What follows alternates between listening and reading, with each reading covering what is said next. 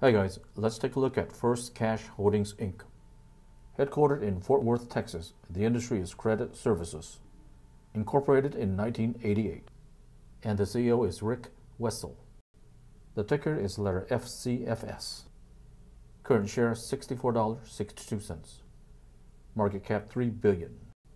And here's the historical stock price. Enjoy learning about stocks just like me? Hit the follow button and we can all learn together.